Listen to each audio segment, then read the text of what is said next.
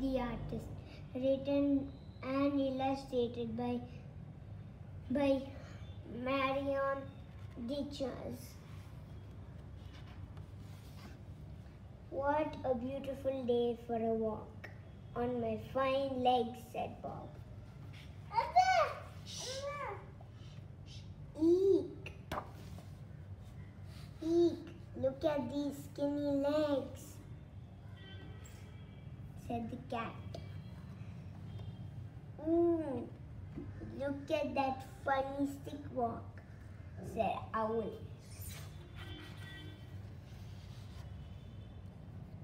Oh, how puny your legs are.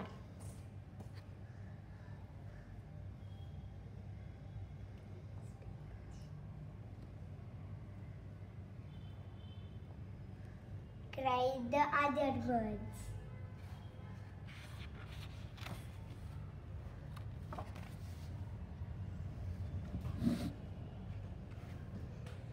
This this this teasing made Bob very sad. Bob's skinny legs.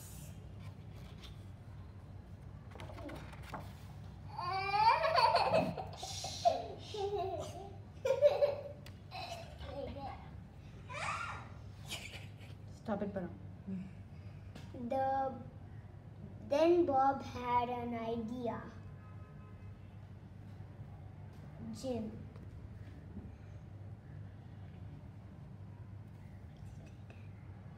I I'll I'll exercise my legs bigger.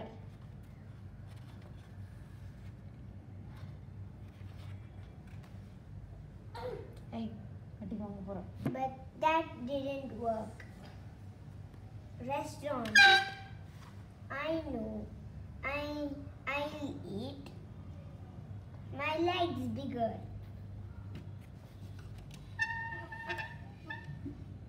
So Bob ate and ate and ate and ate. But that didn't work. But that did not work. His next plan was simple. Fashion. I'll dress up to hide my legs.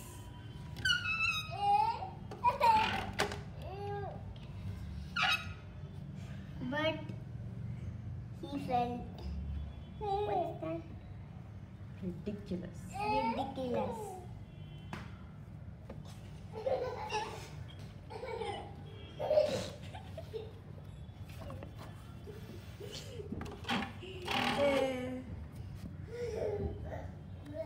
Bob went for a long walk.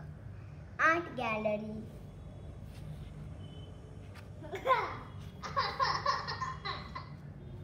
Bob was interested. Inspired. Bob was inspired too. Inspired. That's all is there. Hmm. Bob had a brilliant idea. He got his he got his paints out and Started. started to started to color his beak. Hmm. On on Monday on Monday he painted like Matisse. Matisse A beautiful. in beautiful colorful pattern.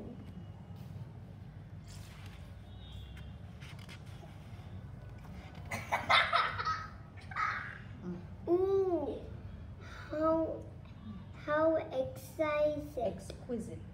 How exquisite, genius, inspirable, Incredible. incredible, Such daring. such daring, amazing color, Stupendous. stupendous, brilliant, uh, a work of art.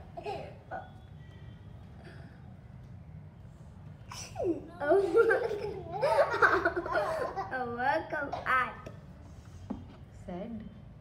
said Owl. Hmm. On Tuesday, Bob painted his beak bright In bright. in bright splatters, like the painter Jack Jackson. Jackson Pollock.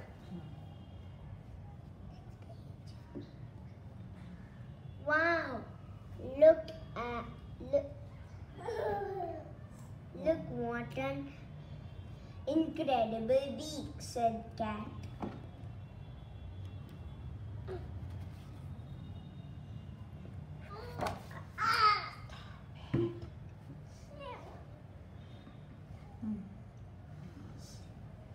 And So, and so now every day Bob painted his beak.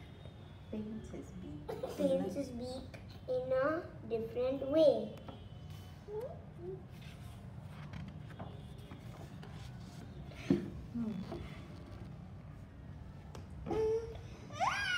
Bob loves showing off his wonderful beak.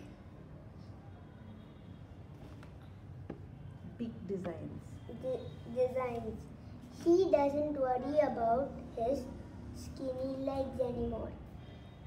In fact, he is now rather Proud of proud of them.